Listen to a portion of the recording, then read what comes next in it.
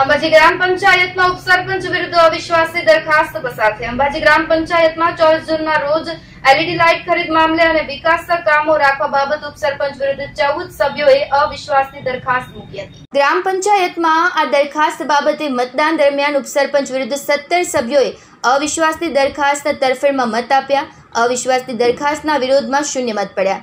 ગ્રામ પંચાયતના કુલ અઢાર સભ્યો પૈકી સોળ સભ્યો હાજર હતા તથા સરપંચશ્રી પોતાનો એક મત આપ્યો. ગ્રામ પંચાયતના ઉપસરપંચ વિરુદ્ધ લોકડાઉન દરમિયાન એલઈડી લાઇટોના મામલે અને વિકાસના કામોમાં રોડા નાખવા બાબતે અવિશ્વાસની દરખાસ્ત મુકાઈ હતી ત્યારે આજની આ સભામાં ગ્રામ પંચાયતના તાલુકા વિસ્તરણ અધિકારી જેપી ચૌહાણ મુખ્ય અધિકારી તરીકે તથા સેક્રેટરી સરપંચ તેમજ સોળ સભ્યો હાજર રહ્યા હતા. મહત્વપૂર્ણ છે કે ઉપસરપંચ આજની આ સભામાં હાજર ન રહ્યા. ઉપસરપંચની અવિશ્વાસની દરખાસ્ત સત્તર